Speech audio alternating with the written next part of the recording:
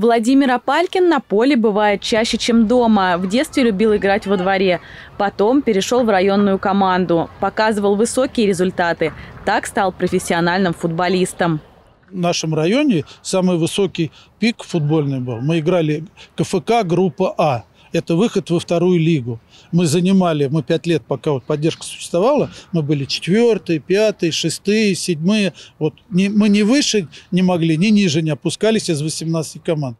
Из полевого игрока в наставнике Владимир Алексеевич всегда делал акцент на командных качествах игроков.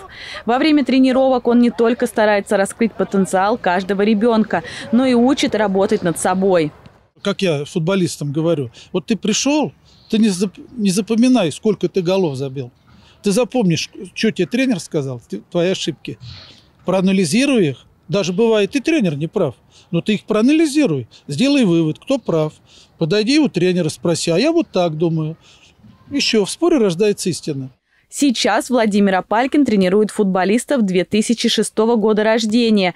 Глядя на молодежь, вспоминает себя в молодости. И немного радуется, что тогда гаджетов не было.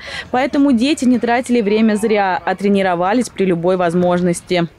Я с учетом тех ребят, которых тренировал, когда не было интернета, было взаимопонимание, обсуждение.